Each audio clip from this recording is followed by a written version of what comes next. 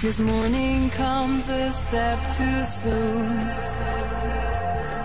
A lonely gaze, an empty room. You're a far cry, a distant memory. But something inside of me always